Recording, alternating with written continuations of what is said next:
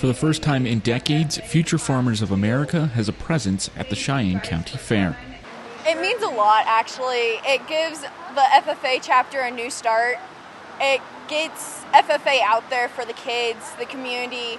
Leyton FFA Vice President Aaron Daniels is competing along members of Sidney's FFA chapter this year. Sidney just finished its first year as a chapter, Leyton its sixth. It's an exciting prospect for many.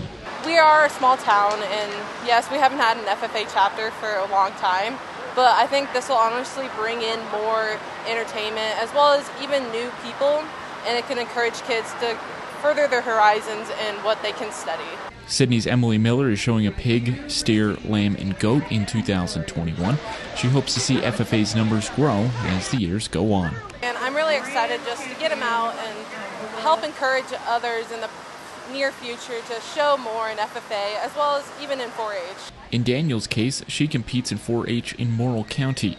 Through FFA, she has another chance to master her craft. To have the experience to go out and be around a new, a new surroundings, new people. It means a lot to bring my animal here. Wednesday evening, Miller and Daniels making history, becoming the first two to compete in an official FFA show at Cheyenne County's fair in decades. According to Sidney FFA advisor Cheney Peterson, Sidney hasn't had an FFA chapter since the 1950s. Leyton is also in their first year competing since getting their chapter.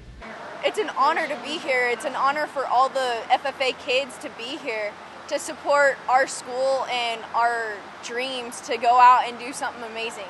In the future, don't be surprised if you see more FFA blue among the white shirts of the 4 H competitors in Cheyenne County. Reporting from Cheyenne County, I'm Ellie Chisholm, News Channel, Nebraska.